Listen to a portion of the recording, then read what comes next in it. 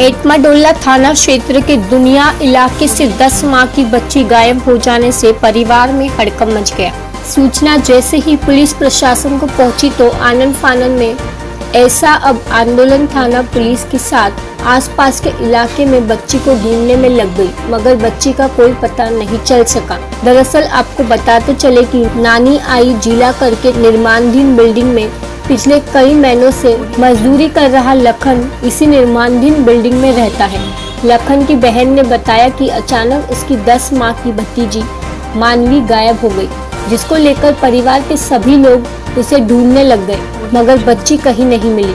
मासूम बच्ची के साथ आए दिन हो रही घटनाओं को देखते हुए परिवार के माथे पर चिंता की लकीरें साफ़ दिख रही थी। पुलिस प्रशासन भी सतर्कता से बच्ची को ढूँढने में लगी थी। पुलिस को तकरीबन दो घंटे बाद सफलता हाथ लगी।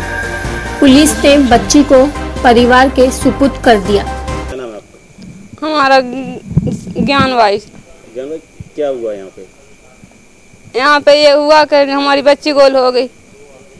कब से गोल होगी बच्ची? बारह बजे पता चला हम लोग को।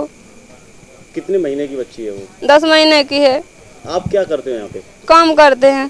किस चीज़ का? मजदूरी है मकान का गाय का मसाले का काम करते हैं। कितने महीने से काम कर रहे हो आप यहाँ पे? यहाँ के महीने हो गया। आपको किस तरह पता चला कि बच्ची नहीं है इस तरह पता चला सामान फैला हुआ था। हाँ। एक दूसरे लोग ने टेरा कि तुम्हारा सामान फैला हुआ। तो हमारे पे उठे हाँ। तो उन्हें देखा तो हमारे सारे लोग जाग गए फिर। तो उन्हें बिस्तर उठे देखा बिस्तर में। हाँ। तो बच्ची गोल हम सारे लोग ढूँढने लग गए जब इसे। अब बच्ची को कहीं पता नहीं दिखा रहा। तो आपको क्या लगता है कौन ले जा सकता है बच्ची को? अब बच्ची हुआ हम ये क्या बता दूँ सारा परदेश है।